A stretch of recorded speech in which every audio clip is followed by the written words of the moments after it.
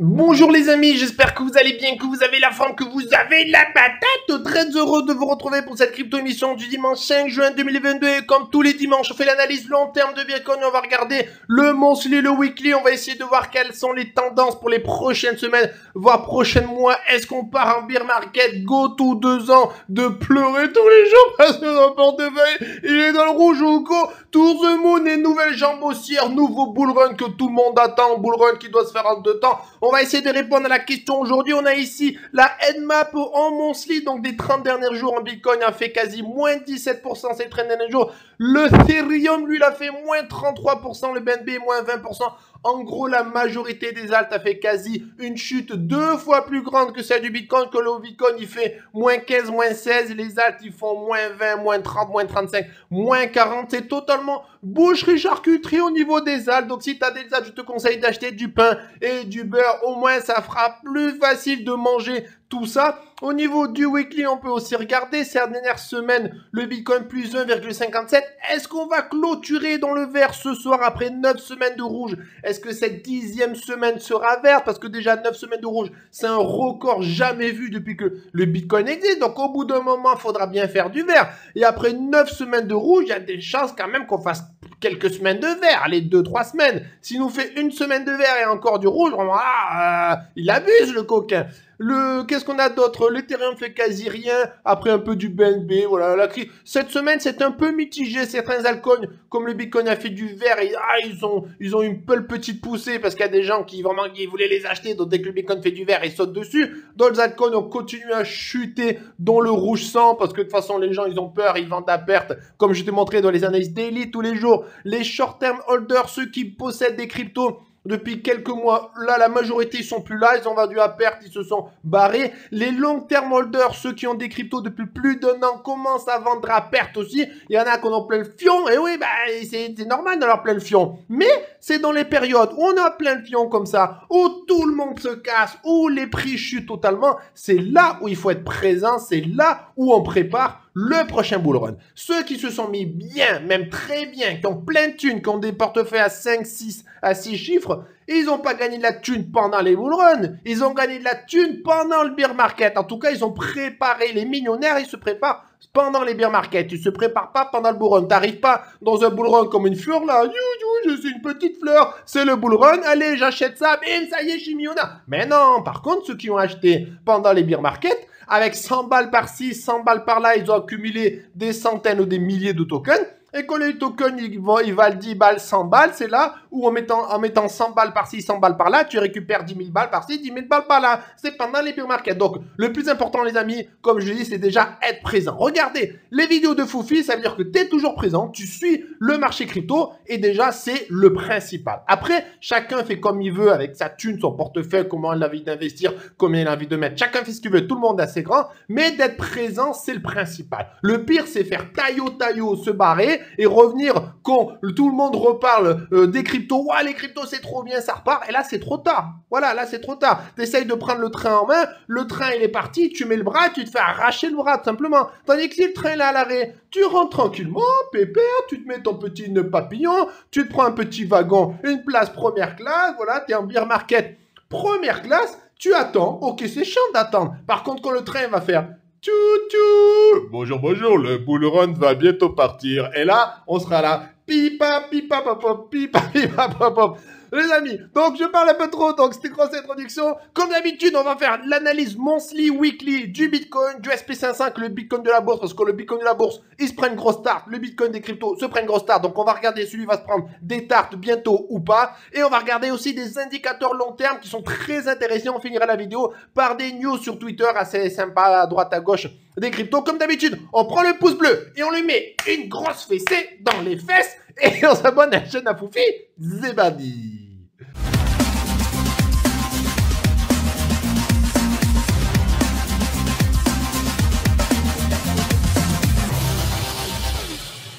Les amis, aujourd'hui un Bitcoin à 29 850 dollars. Ici, on a la charte en monthly. Une bougie, c'est en monthly. Tu peux voir qu'ici, ça a commencé en 2011. Alors pourquoi 2011 Le premier bloc du Bitcoin a été créé euh, en 2009, si ma mémoire est bonne. Là, 2011, c'est parce que bon, peut-être que euh, les chartes démarraient jusque-là. Avant, ça n'existait pas. Ce qu'on voit, d'abord, on va regarder le, ce qu'on a en court terme, c'est-à-dire ce qu'on a de, du bull run. Donc, si on prend les petites Fibo ici, qu'on démarre du crash Covid 2021 jusqu'au top on a fait à peu près 70 000 dollars, qu'est-ce qu'on voit? On voit que la zone de rechargement ici, la, zone de rechargement, je l'appelle un, peu court terme ou dernière zone de rechargement, on s'en fout. Ce que tu peux prendre la zone de rechargement depuis que le Bitcoin existe à zéro si tu veux? Là, c'est plus la zone de rechargement long terme. Donc là, cette zone de rechargement court terme, et chacun l'appelle comme il veut, on peut voir qu'elle démarre à peu près aux 29 500 dollars si tu veux, à à peu près 100 200 dollars près. Donc Qu'est-ce qu'on voit? On voit que surtout les méchouilles, dès que tu commences à toucher la zone de rechargement, pam, ça repart. Tu reviens dans la zone de rechargement, bim, c'est racheté. Et là, on est pile poil dessus. On est pile poil dessus, on a une petite méchouille, ça veut dire que c'est racheté. Et c'est pas du tout surprenant, c'est même très bullish. La zone de rechargement, c'est tout ça, entre les 0,618 de Fibo et les 786 de Fibo, donc entre les 29 500 dollars et les 12 200 dollars. Qu'est-ce que c'est cette zone de rechargement? C'est là où les gens recherche. Quand tu as un asset, n'importe quel crypto qui descend, qui monte, qui descend, qui monte, tu tires tes Fibonacci du, de l'ancien plus bas, euh, on va dire au plus haut, bon, je prends là, mais on va dire entre là et là, entre là et là. La zone de rechargement, elle est là. Les gens, la smart money, les gens intelligents, ils attendent toujours que la crypto revienne dans la zone de rechargement pour racheter avant de repartir. Moi, par exemple, je n'achète jamais des cryptos qui ne sont pas en zone de rechargement. Tout simplement. Après, chacun fait comme il veut. Donc là, on y rentre. Et les zones de rechargement des assets, donc des cryptos très bullish, des cryptos que beaucoup de monde veut, sont très défendus. Par exemple, le Luna. Moi, le Luna, je l'ai très surveillé plusieurs fois pendant les dimanches, où je faisais des cryptos d'analyse par-ci par-là, je montrais le Luna, je l'appelais le Luna to the moon parce que le Luna, il touchait à peine la zone de rechargement et bram, il repartait to the moon. C'était hallucinant. Ça, voudrait, voulait dire quoi? Ça veut dire que les gens, ils n'attendent pas à mettre leurs ordres ici, ils mettent leurs ordres à l'entrée de la zone de rechargement parce qu'ils savent qu'il y en a, ils vont pas faire que la crypto rentre dedans pour que ceux qui mettent leurs ordres tranquillement euh, soient fil si tu veux. En gros, qu'est-ce que je suis en train de te dire? C'est que dans cette zone de rechargement ici, en dessous des 29 500 dollars, il y a plein d'ordres à l'achat qui attendent. Parce que c'est une zone de rechargement. Plein d'ordres à l'achat. Un matelas gigantesque d'ordres euh, d'achat qui, qui, qui, attendent. Et qu'est-ce que font les gens qui veulent faire, qui veulent emmerder tout le monde? Et ils ont raison et ça se passe souvent comme ça c'est qu'ils mettent leurs ordres juste à l'entrée de la zone de rechargement. Ici, des ordres au taquet, juste là. C'est pour ça que des fois, ça rentre pas. Des fois, tu vois des cryptos, tu traces la zone de rechargement, tu dis, est là, voilà. Et la, crypto, elle s'arrête juste au-dessus et après elle repart. C'est pour emmerder tous les gens qui ont leur ordre ici. Et ces gens-là, lorsque la crypto va repartir to the moon, qu'est-ce qu'ils vont faire? Ils vont racheter plus haut, ils rachètent plus haut, ils rachètent plus haut. Et ça permet d'entretenir un peu la vigueur, la vélocité, le momentum acheteur du marché. Et bim, ça propulse plus haut. Donc ça, c'est un scénario vu, revu, encore vu. Et, et ça sera encore vu pendant très très longtemps.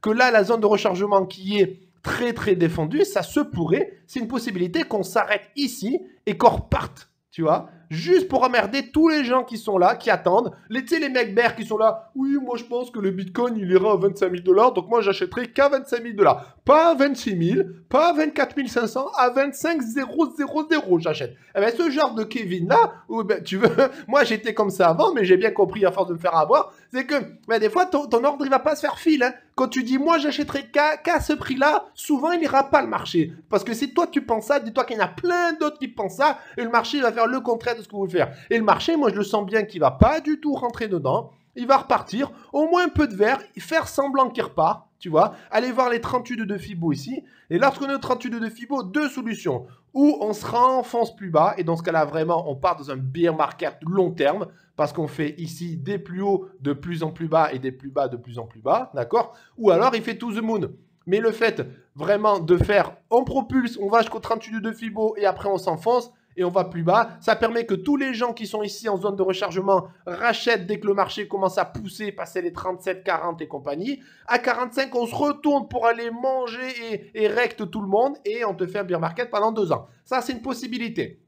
Alors, est-ce qu'on peut avoir un bear market pendant deux ans ou est-ce qu'on est dans un bottom? On va partir tout the moon. Tous les jours, je montre des analyses. Alors, j'aime bien contrebalancer, j'aime bien montrer toujours des choses bullish et bearish. C'est-à-dire qu'on la, qu'on la map, qu'on tout paraît bear, tu vois, que ça pue, qu'on a peur. Derrière, je montre des analyses techniques de traders pro qui disent ça va partir fort. Voilà. Donc là, je t'ai montré quelque chose de bullish. Maintenant, on va regarder un peu le long terme qui est un petit peu moins bullish. On va utiliser le système Ishimoku. C'est juste euh, un système de chartisme comme un autre. Tu as les moyennes mobiles, tu as le système Ishimoku, tu as les hot wave, tu as les wave trading, tu en as plein. Tu as des indicateurs au taquet, c'est pas ce qui manque. Le système Ishimoku, moi j'aime bien. Donc, qu'est-ce qu'on regarde? On va regarder cette ligne rouge ici. Ici, on appelle ça la qui jaune, la qui jaune, la qui jaune, tu l'appelles comme tu veux, du système Ishimoku. Cette ligne rouge, c'est la moyenne des 26 dernières bougies. Vu qu'ici, on est en monthly, une bougie, c'est un mois. La moyenne des 26 dernières, c'est donc un peu plus de deux ans. Parce que deux ans, c'est 24 mois, dont 26, c'est à peu près deux ans. Donc là, dis-toi que cette ligne rouge, c'est la moyenne d'achat. La moyenne, enfin pas d'achat, la moyenne entre le plus haut et le plus bas des, 26 des, deux dernières années. On peut voir lorsqu'on a fait le beer market ici 2014-2015, lorsqu'on a perdu ici la Kijun, on va voir qu'on l'a perdu, on l'a perdu, hop, on va faire l'intervalle de prix. On l'a perdu, allez, ce mois de février 2014, on a fait un beer market pendant quasi deux ans, et lorsqu'on l'a récupéré, euh, allez non, qu'est-ce que je dis des bêtises, pam, pam, pam, je voudrais l'intervalle, voilà, hop, on va faire comme ça.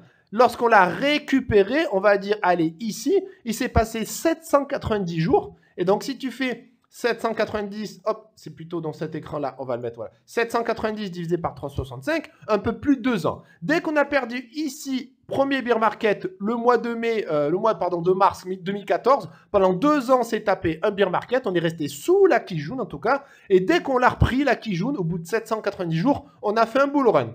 Regardons maintenant deuxième beer market. Donc, on fait le bull run. Tout le monde est content. Tout le monde est le plus fort. Tout le monde est, le meilleur trader du monde. Après, on arrive en beer market où tout le monde pleure et dit pourquoi je suis dans la crypto. On perd ici la Kijun le mois de mars 2018.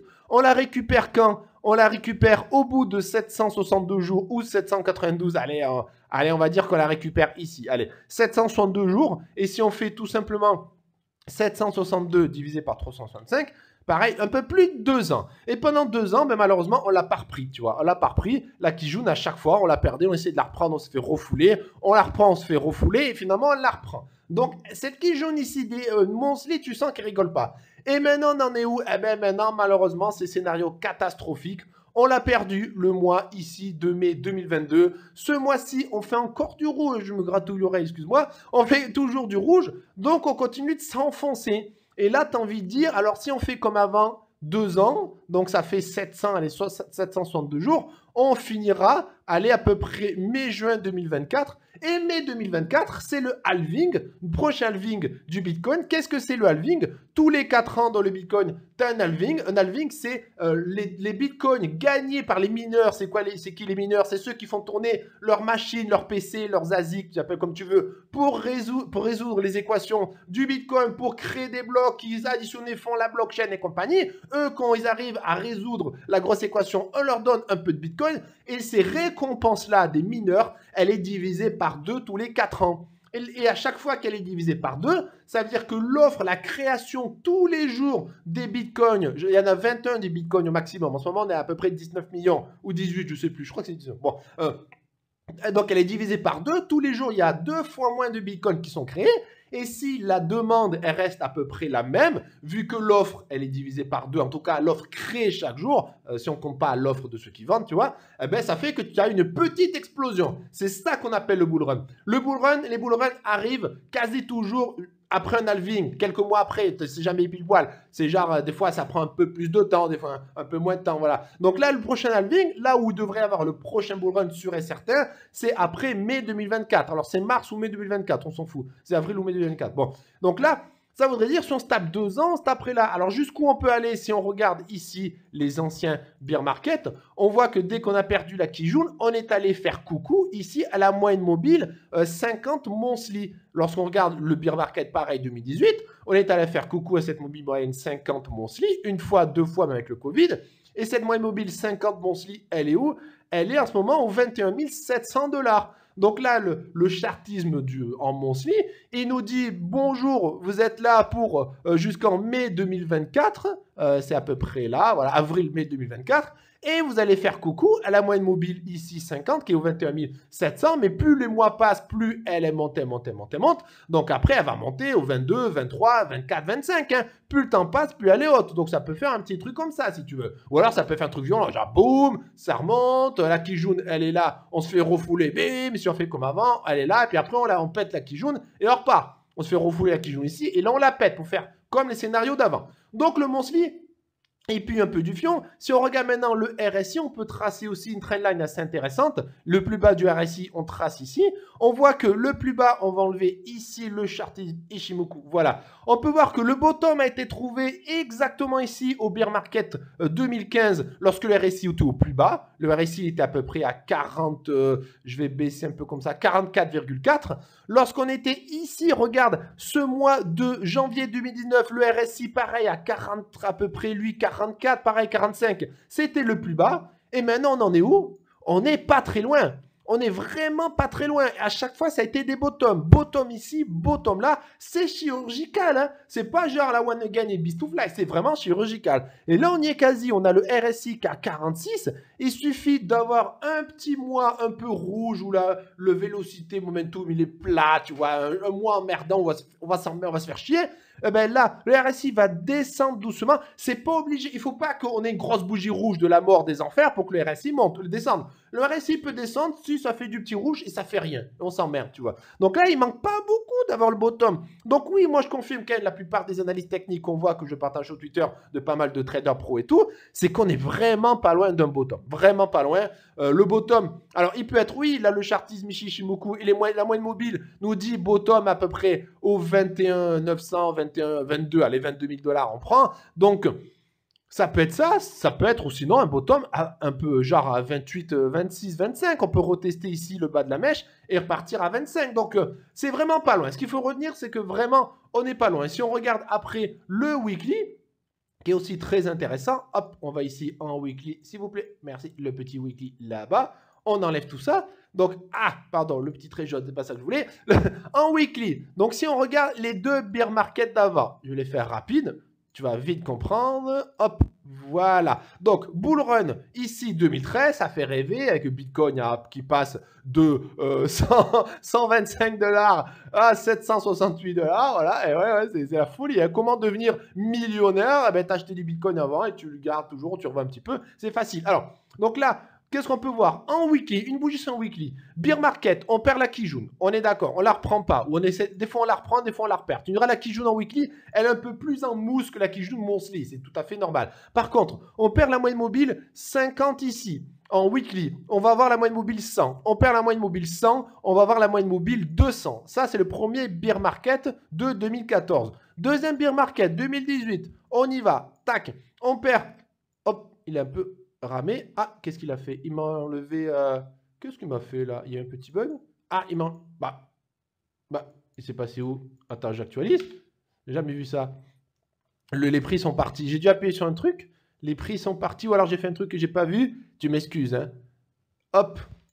Est-ce que je peux avoir les prix? Voilà. Alors 2018, c'est 2018, c'est ici, très bien. Donc là 2018, on perd la Kijun, on essaie de la reprendre, ça veut pas. On perd la moyenne mobile 50, on va avoir la moyenne mobile 100. On perd la moyenne mobile 100, on va avoir la moyenne mobile 200 et on repart. Lorsqu'on reprend la Kijun, c'est quasi bon. Après, il y a le crash Covid qui a fait chez Entre, ok. Maintenant, crash Covid qui est aussi arrêté sur la moyenne mobile 200 à peu près. Maintenant, on va regarder où on en est. Mais c'est simple. La Kijun, hop, la Kijun, euh, on l'a perdue. On a essayé de la reprendre. On l'a perdue. On a perdu la moyenne mobile 100, 50. Euh, on va sur la moyenne mobile 100. On a perdu la moyenne mobile 100. Eh bien là, on a envie de dire, on va sur la moyenne mobile 50. La moyenne mobile 50, elle est où? Elle est aux 22 000 et quelques dollars. Donc, si tu veux, les scénarios, l'histoire se répète, l'histoire des beer markets se répète. Oh, ça peut être joli pour une miniature, ça. L'histoire des beer markets se répète. Les gens, ils vont là, oh, je vais cliquer. et donc là, si tu veux, le passé en weekly nous dit que, comme le, passé monthly nous dit, vous avez perdu la Kijun monthly, vous êtes parti pour deux ans et touché les 22 000 dollars qui est la moyenne mobile 50. Ici, le, chartisme en weekly.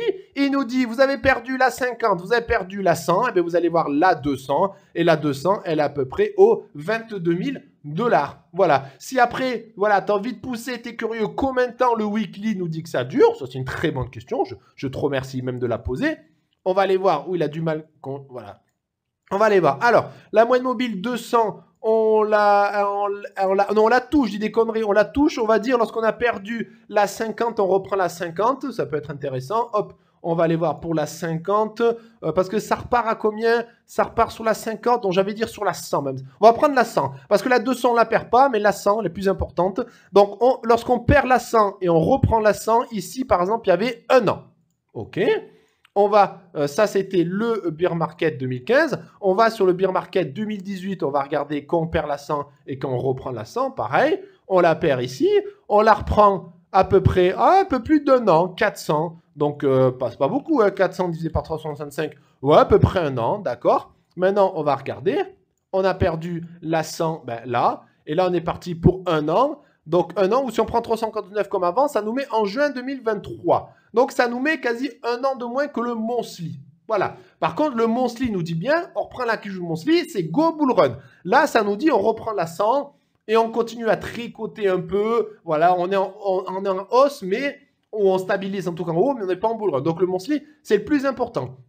Si on regarde l'SP500, on va regarder quand Monthly, oui. Lui, pendant l'SP500, c'est le Bitcoin de la bourse. Et le Bitcoin de la bourse, alors lui, il, a, il, est là depuis un peu plus longtemps. Et il a à peu près depuis euh, 1950. C'est 1957 exactement le, l'SP500 depuis sa création. Donc tu vois, c'est un peu plus long que, il y a un peu plus de données que, que le Bitcoin. Tu vois Ça commence à faire beaucoup. Alors là, c'est pareil. Donc si on prend depuis le crash Covid qui est là et on tire les fibos jusqu'à son plus haut, qu'est-ce qu'on peut voir? On a touché exactement les 38 de Fibo, qui est un palier très important. Une crypto ou en tout cas un asset, n'importe quoi, qui est bullish, il garde les 38 de Fibo qui sont là et il repart à la hausse. Ça, c'est un bull run. Lorsque le Bitcoin est en bull run, il fait comme ça. Je monte, je descends, je monte, je descends, je monte. Et à chaque fois, le plus bas, c'est les 38 de Fibo. 38 de Fibo, je les touche, je repars. Ici, 38 de Fibo, euh, je touche, je repars. C'est toujours comme ça. Donc là, on peut voir que l'SP500, qui est le Bitcoin de la bourse, il a touché les 32 de Fibo. S'il repart, ça veut dire c'est bon, finalement, il est toujours en bull run, entre guillemets. Voilà. Donc, a contrario, si jamais on perd les 38 de, de Fibo, c'est parti pour aller où? Il y a de grandes chances, c'est parti pour aller voir l'entrée de la zone de rechargement qui est ici. Et ça voudrait dire une chute de combien par rapport à aujourd'hui, si jamais on y va? Une chute de 21%. Et là, tu verras tous les médias du monde entier te parleront de crack sur la bourse, de crack, de crash. Alors on dit crack, on dit pas crash, que le crash, c'est pour une collision, c'est pour ça qu'on dit crack si tu veux. Donc là, euh, c'est pas très bon, c'est pas ni bullish ni bearish, c'est pour l'instant on tient, mais on sait pas trop ce qu'il va nous faire. Il nous faudrait voir un peu plus d'un mois ou deux. On se rassure qu'en quoi, ben si on pète ces, ces hauts là, on va dire ça y est, c'est sorti d'affaire. Et si jamais on vient retester là, ben il faudra euh, se serrer euh, le, le, slip parce que ça risque de puer. On peut voir aussi au RSI, c'est le même combat, un petit bottom qui se dessine sous le RSI ici à 44, c'est marrant, le 44 comme le Bitcoin. Alors ici, qu'est-ce qu'on a eu? Dis-toi qu'en bourse, il y a eu deux crises, deux crashs monumentales. Euh, le crash ici en 2000, c'est bulle Internet. Bulle Internet, c'est un peu comme les cryptos. C'est que toutes les sociétés qui avaient le mot Internet dedans, tout le monde investissait des sous. C'était n'importe quoi, c'était explosion. Tu le vois, c'est un bull run comme pas possible ici. Regarde-moi ce bull run là. Bah Et le bull run, il a duré 5 ans, même plus que 5 ans, tu veux. Le bull run, il a duré, si t'as envie, euh, il a duré 13 ans, le bull run, quoi. Et donc, bulle d'Internet, ça explose. Ça fait le crash sur le marché. Le crash, c'était à peu près quasi moins 50%. Après, ça repart. Malheureusement, ici on arrive 2008, crash, les subprimes. Les subprimes, c'est quoi le gros problème d'immobilier? Regarde le film The Big Short. C'est un problème entre les crédits des consommateurs et l'immobilier qui vaut plus rien. Les gens, ils n'arrivent plus à payer leur crédit. Donc plein de maisons euh, sont là euh, totalement en attente et personne n'en veut. Donc ça a été un peu n'importe quoi. Ça, c'est tout totalement à cause du gouvernement. On va voir le film, il est très bien fait. Donc, deuxième crash des subprimes. Et là, on peut voir, ben, le crash, ça a été à peu près du, pareil, moins 55. Voilà, on parle de crack à partir de moins 30, je crois, une connerie comme ça. Donc, après, il faut savoir aussi, attention les amis, je ne vais pas être pessimiste, mais là, dans la bourse, les gens, par exemple, qui avaient acheté avant crack ici de la bulle Internet, ils ont été en profit, combien de temps après? 2586 jours. 2586 divisé par 365, pendant 7 ans, les gens qui ont acheté, alors ils ont acheté au top, alors là c'est les pires, tu vois, mais pendant 7 ans, mais même si tu prends, tu prends ceux qui ont acheté là, pareil, ils ont été en profit, ils ont dû attendre enfin, quasi 7 ans aussi pour revoir. Bien sûr, il y a eu ce petit truc-là, mais quand le chute, a attendu, le chute est tombé, ils ont attendu 7 ans pour revenir à leur mise initiale. Si tu prends après, ici, la crise des subprimes, les gens qui ont acheté au top ou quasi au top, à dire, allez là, ils ont attendu combien de temps? 2000 à peu près jours. Et si on fait 2000 divisé par, euh, pardon, 2000 divisé par 365, ça fait 5 ans et demi. Donc, euh, des crashs ou pas dans portefeuille. Parce que je dis ça parce qu'il y en a, ils sont là, ouais, moi je suis là pour le long terme. Mais euh, à tenir 7, 8 ans, 9 ans de portefeuille dans le rouge, toi? C'est compliqué quand même, hein c'est pas donné à tout le monde. Hein. Donc là, je disais, pour finir là sur notre Bitcoin de la bourse, ici quelque chose qui se dessine un petit peu. Euh, non, c'est pas là que je voulais, c'est plutôt là. Parce que là, c'était les crises ce premier puis l'Internet, plutôt là, ici, paf. Donc on peut voir, regarde, c'est chirurgical aussi. Ça touche ici, là. Ça a été un beau tome. Alors, on, on oublie, hein, c'était après la crise ici euh, des subprimes. Donc, ça, on oublie les deux grosses crises de la bourse. Voilà, on est sur une tendance à peu près normale. Il y a des hauts, il y a des bas, il y a des bas. Donc là, bottom ici, ça touche là, ici les 44, bottom ici, 44 comme le, Bitcoin à mon C'est marrant ces 44, hein, tu vois. Ici, pareil, on touche quasi, c'est un bottom. Ici, on touche quasi, c'est un bottom. Ici, on touche quasi, c'est un bottom. Et donc maintenant, euh, non, c'était plutôt, oui, oui, c'était, ouais, c'était là la louchette. Et là, on n'y est pas encore. Là, on n'y est pas encore. Donc, tu as envie de te dire que deux solutions. Ou vraiment on est méga bullish et ça y est, hors part finalement, c'était une petite correction de rien du tout. Ou alors on va vraiment s'enfoncer un peu plus jusqu'à toucher quasi les 44. Et il y a des chances de retoucher les 44 euh, ben, en allant faire un petit coucou euh, dans la zone de, juste avant la zone de rechargement de, de longue. Tu vois, les gens, ils attendre, ils vont mettre leurs ordres d'achat ici. Le marché descend juste avant et enfin il repart juste avant pour emmerder tout le monde. Et ces gens-là, ils vont racheter plus haut. Un peu comme le Bitcoin. Par contre, si Ici, notre Bitcoin de la bourse, euh, l'SP500, donc hyper 20%. Euh, eh bien, le Bitcoin, lui, il risque de se manger 20% aussi, euh, au moins. Et 20% sur le Bitcoin, ça nous amène où? Ça nous amène, eh ben voilà, 22 000. Voilà le scénario. Donc, on l'a. le scénario. Alors, scénario bear market, si jamais on le fait, et t'as envie, envie de penser avec tout ce que je t'ai montré qu'il y a pas mal de signaux qui clignotent, qui te disent attention, ça pue, attention, ça pue, attention, ça pue. Donc, ça veut dire, on, aurait dit quoi? On aurait que la bourse continue à tomber jusqu'à toucher les 44 ici de RSI, qui a été un beau tome pour énormément de dernières fois. Euh, et après, ça repart, donc ça fait encore 20% de chute. Et 20% de chute sur le Bitcoin, euh, sur le, l'SP500. Le Bitcoin, pareil, il chute de 25%. Il va toucher la moyenne mobile 200 ici, qui est la moyenne mobile 50 monthly aussi. Donc on a la 200 weekly et la, 2, et la 50 monthly au même endroit, aux 22 000 dollars. On touche les 22 et après on repart. Voilà le scénario de Beer Market. Scénario après méga bullish. Hop, on part maintenant, merci. Voilà, c'est ça. Ok, donc on va voir quelques euh, données en chaîne. Oh, 27 minutes. Oh, excusez-moi, je suis un fou. Oh là là, je vais faire rapidement. Ici, c'est le Bitcoin meilleur multiple band. Il nous montre ici la moyenne mobile 200 daily à chaque fois. On a ici la moyenne mobile, enfin, c'est plutôt des régressions, on va dire, logarithmiques, euh, euh, violette et, rose. Pas, ça n'a pas des noms spécialement. Et qu'est-ce qu'on nous voit? On voit que on est en dessous de la moyenne mobile 200. Ça pue. Donc, on est à moyenne mobile 200 daily. Ça pue du fion et ça dit que ça peut être un beer market. Ce qu'on voit surtout, c'est que précédemment, regarde, les bottoms, hop, on va faire ça. Ici, beer market 2014-2015, on a eu le bottom lorsqu'on touchait quasi, on a transpercé cette ligne un peu rose là, tu vois. On l'a perdu une fois, ça a été un bottom, on est reparti. Ici, beer market 2018, pareil, on touche cette ligne rose, on repart, on la perd un petit peu et c'était le bottom, on repart. Crash Covid, cette ligne rose, on repart. Mais non, on en est où? On en est que la ligne rose, on l'a un peu touchée, mais on est quasi, tu vois. Donc un bottom maintenant, c'est possible. C'est pas du tout genre inenvisageable. Mais rechuter une dernière fois pour aller ici au 25 000, retoucher la ligne rose, voire manger un peu la ligne rose, aller au 24, 23, 22 pour partir, c'est très possible. C'est ce qu'il nous dit lui aussi. Là, on a le Bitcoin Magic Line Qu'est-ce qu'on a? La moyenne mobile ici, 200 délire en turquoise et la moyenne mobile 128 en violet. Lorsque la turquoise, donc la 200, passe au-dessus de la 128, ça te fait des beer market. Ça fait beer market 2014 ici, ça fait le beer market 2018. Et là, ben, la 200 daily passait au-dessus de la 128, donc ça te dit bonjour beer market. Mais ce qu'on retient surtout, en beer market 2015, 2014-2015, on peut voir que on a, on est, le plus bas, ça a été ici, cette moyenne mobile, ce WMA, donc c'est weekly. Alors WMA, je sais plus que c'est. Euh, weekly moyenne mobile, je crois que c'est juste. Non, oui, c'est ça, c'est juste la 200 weekly. La 200 weekly. De la 200 weekly, c'est ça. Et donc là, on peut voir que la 200 weekly, qui est à peu près aux 22 000 dollars, ça sera un bottom. Parce qu'à chaque fois, on a perdu ici la 200 daily et après on est allé voir la 200 weekly. La 200 daily, il est en, violet euh, gras, tu vois, ici. On est allé voir la 200 weekly. Pareil, Beer Market 2018, on a perdu la 200 euh, daily qui est là et on est allé voir la 200 weekly. Et là, on en est où? Bon, on en est pareil. Non, c'est pas. C'est quoi cette 200 WMH dis des conneries. Ah non, la 128. Oh là là, excuse-moi, je ne sais pas lire. On a perdu la 128 qui est en violet weekly. On est allé voir la 200 weekly. Beer Market 2018, on a perdu la 128 weekly. On est allé voir la 200 weekly. Et là, on en est où? On en est que la 128 weekly, on est en train de se triturer autour, si tu veux. Donc là, on la perd, on la reprend, on la perd, on la prend, c'est pas trop. Mais les deux dernières fois, lorsqu'on l'a perdu, on est allé voir la 200 weekly qui est au 22 000 dollars.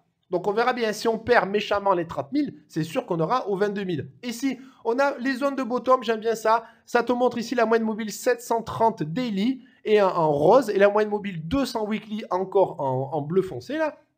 Et on peut voir Beer Market 2015, lorsqu'on a perdu la 730 daily, on est allé voir la weekly et les bottoms étaient entre la 730 daily et la 200 weekly. Mais à chaque fois, on a touché la 200 weekly pour faire les vrais bottoms si tu veux. En beer market 2018, le crash Covid, c'est pareil. Euh, on a touché la 200 weekly pile poil et là un petit peu débordé pour faire le bottom. Et on a une bottom entre la 730 et la 200. Et là, on en est où? On rentre dans des zones de bottom. C'est un peu les zones que la capitulation commence. Et la 200 weekly qui est au 22 000 est là. Donc en gros, entre, la 20, entre 35 000 et 22 000 à peu près, c'est là où on avait notre bottom. On peut voir ça, c'est le plus intéressant, c'est les capitulations. Là, tu peux voir Beer Market. Je vais zoomer comme ça. Voilà, c'est bon. Beer Market ici, 2014-2015. La capitulation est arrivée à la fin. Donc là, tu vois, c'est tombé. On est passé de 1100 à à peu près à 320. Donc si tu fais 1100 euh, divisé par 320, tu as fait déjà divisé par euh, un peu plus de 3. Et lorsque tu pensais que ça y est, c'était fini, de 300, ça passe à 200. Donc si tu veux, tu es en train de souffrir et ça brèche tes souffrances totalement. Et c'est là où la capitulation arrive. C'est les gens ça fait un an et demi qu'ils sont en bear market. Ils en ont marre. Ils en ont jusque au-dessus du pantalon. Et là, à la fin, où tu penses que ça y est, ça stabilise, tu dis, ah, ça y est, on pense, on sait le bottom. Bim, le marché, il te met une dernière jambe baissière pour finir, et pour finir tout le monde. Et là, tu as la vraie capitulation qui arrive. C'est les long-term holders. Ceux qui sont là depuis plus d'un an, ils se cassent. La majorité se casse. Il n'y a plus personne sur le marché. Ça, c'était 2015. 2018, c'est le même plan. 2018, tu passes de 19 000 à 4900. Regarde, 19 000 divisé par 4900, tu fais un petit quasi divisé par 4. Donc euh, là, ça pue du, fion. Et la capitulation arrive quand tu passes de 4009 à 3100. Donc tu te reprends une énorme correction dans la tronche. Et c'est là où les gens se disent, allez, c'est bon, là c'est trop, le vase déborde, je me casse. Et là, on en est où maintenant? On en est qu'on n'a pas de grosse capitulation. On n'a pas la capitulation des je me barre et tout. La capitulation, on l'a après avoir passé cette ligne, le Rise the Price. Qu'est-ce que c'est ce Rise the Price? C'est la ligne où la majorité des gens sont en perte, tout simplement. Quand on est au-dessus, la majorité des gens sont en profit. Enfin, après, ça dépend.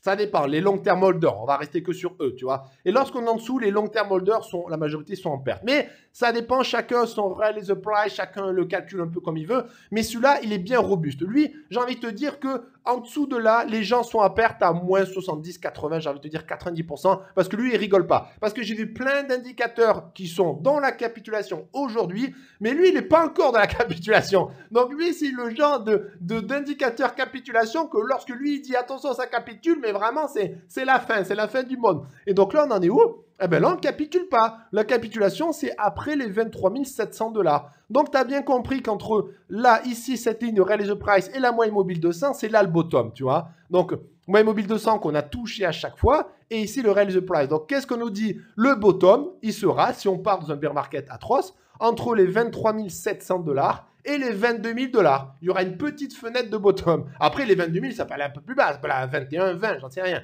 Mais c'est l'idée. Il n'y a pas encore eu la capitulation qui fait que vraiment, c'est les bottoms de marché. Parce que là, tu vois, les bottoms de marché ont été à chaque fois lorsqu'il y a grosse capitulation. Et là, on n'y est pas encore, malheureusement. Donc oui, ça pue, ça pue du fion. Euh, ici, euh, le Bitcoin Bubble Index, c'est un indice de bulle. Euh, plus c'est haut, plus la bulle est haute et plus ça va exploser, ça fait mal. Dans les tops de bull run, la bulle était gigantesque à chaque fois. Là, on est en train de descendre, mais on n'est pas dans des niveaux de bear market. Et attention, il reste encore un petit peu. ici, le Bitcoin Google Trend, c'est les gens qui cherchent le mot Bitcoin sur Google. Et plus il y en a qui cherchent, eh bien, plus les gens s'intéressent et donc plus ils rentrent dans les cryptos. Lorsque le, Google Trend, le mot Bitcoin est recherché énormément sur Google, ben c'est le top de bullrun. C'est ta c'est ta tante, c'est ta mamie qui sont là en train de taper Bitcoin sur Google alors qu'ils connaissent rien, mais ils ont attendu Bitcoin euh, aux informations. Le Bitcoin est passé les 50 000 dollars. Ils sont là, waouh, je vais acheter du Bitcoin. Ils tapent Bitcoin sur Google et ils essayent d'en acheter. Là, c'est la fin. C'est la fin du bullrun, là, tu vois. Et ça le montre. Et en ce moment, on est dans des niveaux, mais pas assez bas des bear market, par exemple 2018. On est toujours un peu plus haut, tu vois. Donc, il manque quand même, tu veux, tout, tout, tout se rassemble, tout se confirme que aller aux 22 000, 20 000 dollars, ça serait vraiment pas surprenant. Ça serait, je serais le premier à pleurer les, larmes qui me restent dans mon corps, mais on pourra pas dire, oh, je suis surpris, je m'y attendais pas. Si, il y a, quasi tous les indicateurs qui attendent. Alors oui, tous les jours, je partage des chartes de, de traders à droite, à gauche qui te disent le bottom, c'est maintenant.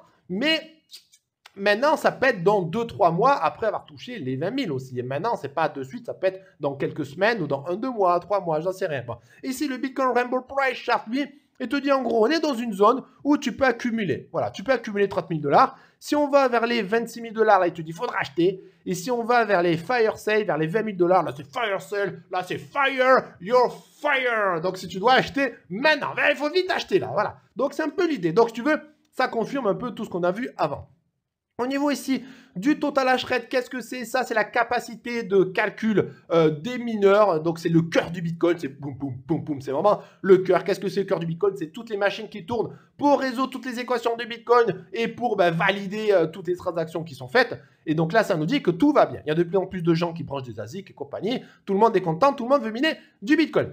Pour finir, les news Twitter, les amis. Donc là, on va regarder après avoir fait du chartisme et avoir fait peur parce que moi, je t'ai montré eh ben, que ça pue du puissance 1000. Donc, il ne faudra pas s'étonner si on tombe encore. On va voir maintenant des charts qui nous disent le bottom, c'est maintenant pour contrebalancer le fait que j'ai fait peur à tout le monde en début de vidéo. Mais bon, j'ai pas fait esprit, c'est pas moi, c'est les courbes qui disent ça. Donc lui, si tu veux, il t'a pris les anciens peer market avec ici, il t'a calculé un peu euh, les, pourcentages de hausse, pourcentages de baisse et compagnie.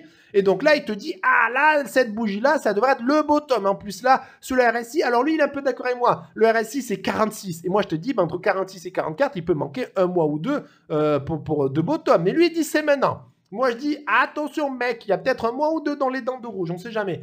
Tiens, analyse qui nous dit le bottom, c'est maintenant. Il nous montre par rapport à 2021 le avant bull run, juste avant qu'on parte en bull run. Ici, un triangle descendant ou un canal descendant avec deux touchettes. Et après, on va zigzag, zigzag, zigzag, zigzag pendant plusieurs mois. Et après, on s'en va. Donc lui, il est en mode zigzag, zigzag. On va s'emmerder pendant plusieurs mois, s'emmerder tout l'été. Et à la rentrée ou en hiver, les runs aiment bien partir en hiver, hein, pour info, on partirait. Pourquoi pas? Pourquoi pas? Au lieu de se faire manger 15 000 dollars ou 10 000 dollars comme crient certains, se faire un zigzag, zigzag, aller revenir à 25, revenir à 35, encore 25, où tout le monde veut, oh j'ai peur, oh, je vais mourir, tout ça. Et après on part, pourquoi pas? Ici, on chain collège qui nous partage qu'est-ce que c'est ce chart Je me souviens plus tellement je partage des trucs, je vais faire. Donc, intéressant noté pourcentage de Bitcoin détenu dans 10 mois niveau plus bas. Ah voilà, cela confirme que la base BTC Holder est plus solide que jamais, le commerce de détail. Donc là, c'est quoi euh... Ah ouais, voilà, c'est les Bitcoins détenus par ceux qui ont euh, des, euh, les détenteurs entre 0 et 6 mois a chuté dans son niveau le plus bas. Donc il nous dit quoi? Que les détenteurs du Bitcoin court terme entre 0 et 6 mois, il n'y en a jamais eu aussi peu. Donc la majorité se sont barrés. Voilà. Et ça, c'est un signe de bottom aussi. Ça, c'est une image que j'aime bien, que je veux mettre, et j'essaie de me rappeler souvent de cette image. C'est un mec, il court derrière le pognon. Il court. Il chope du pognon, parce qu'au début, il n'y en a pas, tu vois. Après, il chope du pognon, il a les cheveux un peu blancs, il continue à courir encore pour choper du pognon. Après, il chope encore plus de pognon et là, il est vieux et là, c'est la fin de la vie. Et ça, c'est vraiment une morale.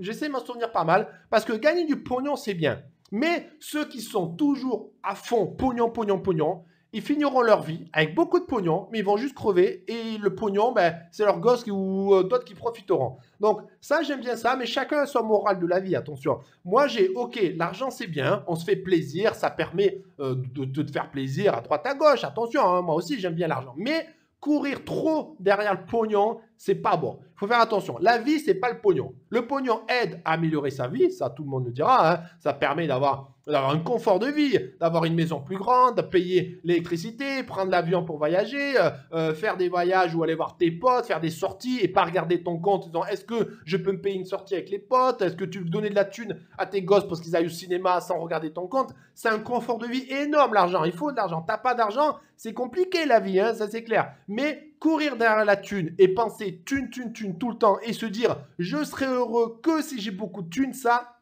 c'est pas bon. mais c'est que mon avis personnel. Et donc, cette image, elle est vraiment bien. Quelqu'un qui court derrière le pognon, au bout d'un moment, oh, qu'il a plein de pognon, mais voilà, t'as passé ta vie à courir du pognon au lieu de profiter de la vie, tout simplement. Donc, ça, c'est une petite morale qui est sympa. Donc, voilà, oh, j'ai fini la vidéo sur une belle morale. C'est pas mal, ça. Donc voilà les amis, dites-moi ce que vous pensez de cette morale, dites-moi ce que vous pensez euh, du Monster du Weekly, est-ce que vous êtes d'accord pour se taper euh, deux ans jusqu'au prochain living et aller aux 22 000 dollars à peu près? Est-ce que vous, c'est le bottom, c'est maintenant de suite et c'est parti en bull run d'ici une semaine? Dites-moi ce que vous en pensez, n'hésitez pas à mettre un petit pouce bleu, à vous abonner à la chaîne du Fofi, profitez de la vie et je vous dis à demain les amis, je vous fais la bise, bye バイ。あはは